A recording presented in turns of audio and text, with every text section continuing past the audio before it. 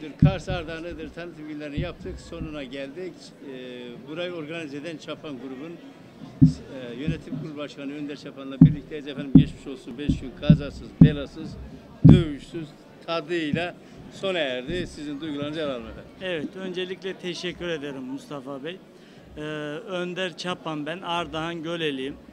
Ee, Kars Ardahan Iğdır tanıtım günlerin organizasyonu alan kişiyim.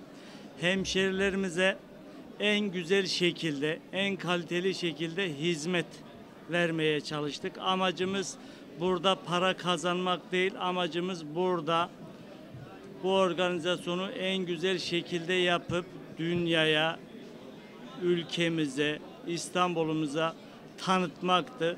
Ee, Bunu da sanırım layıkıyla yaptık. Ee, Bugün çok ciddi bir katılım var. Ee, Maksadımız hasıl oldu diye umut ediyorum Mustafa abim. Evet. Ee, hemşerilerimiz memnun, esnafımız memnun.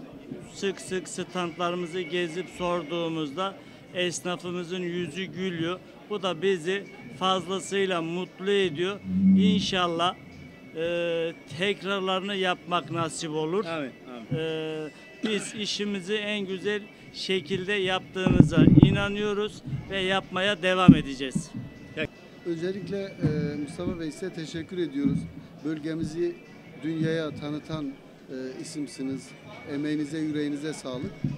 E, tabii bu yıl benim için gerçekten e, çok önemli. E, çünkü e, köyünün iş insanı e, Önder Çapa'nın bu organizasyonu üstlenmesi bizim köyümüz adına, derneğimiz adına önemliydi. En iyi şekilde başardılar, yaptılar. Ülkemizi, e, Ardahan'ımızı tanıtmak için bence ellerinden geleni yaptılar. Biz de köyünün derneği olarak burada bir stand açtık.